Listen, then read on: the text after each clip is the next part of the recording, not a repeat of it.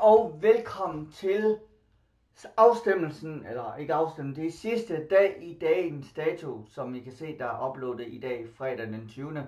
Og det er i dag, I skulle have stemt, eller I skal også stemme i dag. Det er sidste dag, I kan stemme de fire Pokémon Trading Card Game Boxe, uh, Champions Path og uh, nummer 1. I skal taste 1, 2 eller 3 eller 4. Det må jeg også gøre, det gør det også meget nemmere. Og det er sidste dag, I kan stemme. Så vi gør det hurtigt, fordi jeg skal til Fredericia og lave nogle spændende ting og holde fødselsdag og, og så meget andet. Men det første, nummer 1, I kan taste nummer 1. Vi har Champions Path Pink Collection, Special Pink Collection, Stop on Ball. Nej, Stop, Stop on Side hedder det. Stop on Side. Nummer 1. Nummer 2 skal vi have Champions Pass Special Pink Collection Sjøsester nummer 2. Sidste stemme i dag. Eller Champions Path Collection Double V nummer 3. Nummer 3. Nummer 4. Pokemon Trading Card Game Galion Surfet V-Box. Nummer 4. Task nummer 4. Det er ligesom de der øh, bingo her, de der kugler, der triller, og så skal man vælge nummer 4 bango der. Nå. Det er de fire, I kan vælge, og er det sidste stemme i dag.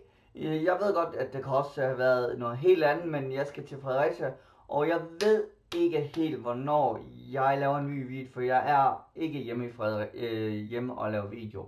Så det kan være, at jeg laver det på tirsdag, for jeg er fri om tirsdagen. Fedt, ikke? Og øh, det kan også være, at det først bliver næste weekend, øh, at jeg laver en video, hvor at, øh, vi åbner den boks, som I har stemt på, og der har fået flest stemmer. Og I bliver udnævnt, og øh, det bliver fantastisk. Jeg glæder mig helt vildt. Jeg har så lavet nogle lidt andre videoer, som I nok kan se Spider-Man og, og Assassin's Creed i hen ad vejen for at lave lidt anderledes ting og prøve at vende tilbage til Spider-Man-spillet, for det har gået lidt i stå. Jeg vil også vende tilbage til Uncharted, som også er gået stå.